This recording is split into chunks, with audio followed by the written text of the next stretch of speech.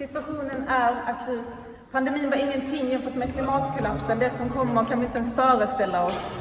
Barn och äldre dör först. Sirener kommer ljuda oavbrutet, men ingen kommer hinna fram i tid.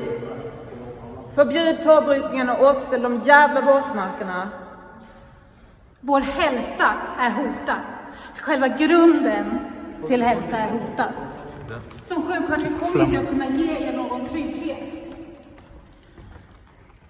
Vi kommer också drabbas av svält, vattenbrist, konflikter. Det kommer bara bli värre ju längre tid vi väntar. Vad väntar vi på? Förbjud torvbrytning. Återställ våtmarker.